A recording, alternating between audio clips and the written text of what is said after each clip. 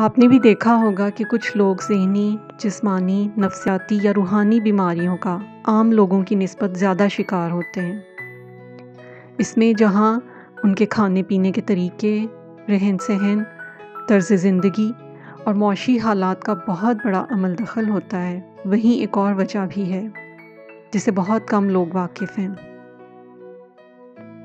एक मशहूर मजहबी स्कॉलर डॉक्टर इसरार अहमद अपने एक बयान में बहुत ही खूबसूरत बात कहते हैं कि हर माशरे में लोगों की एक बहुत बड़ी तादाद ऐसी होती है जो हैवानियत के दर्जे पर ज़िंदगी गुजारते हैं। यानी वो सोते हैं, जागते हैं, खाते पीते हैं रफाहजत करते हैं मतलब कि वो सब काम करते हैं जो कोई भी जानदार और हैवान करता है और यूँ ही इस दुनिया से रुखसत हो जाते हैं। मेरा ख्याल है क्योंकि ये लोग हसास नहीं होते और ज़िंदगी के बारे में, उसके अता किए जाने के मकसद की तलाश के बारे में ज़्यादा गहराई में नहीं सोचते।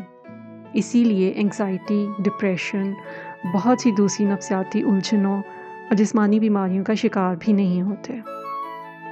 मगर इनके मुकाबले में वो लोग, जो हसास तबीयत के मालिक होते हैं और अपने इर्द गिर्द के हालात वाक़ात और ख़ास तौर पर दूसरे लोगों के रवैयों और हरकत सकनात पर बहुत गहराई में सोचते और उनका असर लेते हैं। ऐसे लोगों की बीमारियों में घिरे रहने का अंदेशा भी ज़्यादा होता है।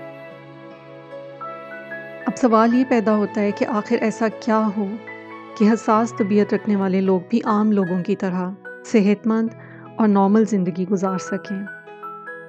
तो इसका जवाब ये है कि ऐसे लोगों को लाजमन किसी न किसी ऐसी सरगर्मी, एक्टिविटी या एक्सरसाइज को अपनी ज़िंदगी का हिस्सा बनाना चाहिए, जो उनके जहन को पुरसकून रख सके। और सबसे कारआमद एक्सरसाइज डीप ब्रीदिंग की एक्सरसाइज है। ये गहरे सांस के ज़रिए हमारे दिल की धड़कन को बहुत कम और सुस्त रफ्तार कर देती है, जिससे इंसान का दिल, दिमाग और पूरा जिस्म बहुत पुरसकून हो जाता है।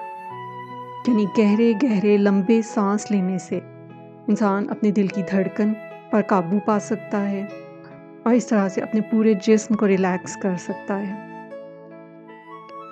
इसके अलावा मुराकबा या मेडिटेशन भी अगर रोज़ाना के मामूल का हिस्सा बना लिया जाए तो कोई भी इंसान बसानी अपने आप को एंग्ज़ाइटी और डिप्रेशन के मर्ज से निजात दिला सकता है, क्योंकि याद रखें एंग्ज़ाइटी और ख़ास तौर पर डिप्रेशन वो जड़ें हैं, जहाँ से तमाम दूसरी जिस्मानी, जहनी नफसियाती और रूहानी बीमारियाँ जन्म लेती हैं। तो आप भी अपने लिए किसी ऐसी अच्छी सरगर्मी का अहतमाम ज़रूर करें। ख़ास तौर पर अगर आप एक हसास तबीयत के मालिक इंसान हैं और हैवानियत के दर्जे पर ज़िंदगी बसर नहीं कर रहे।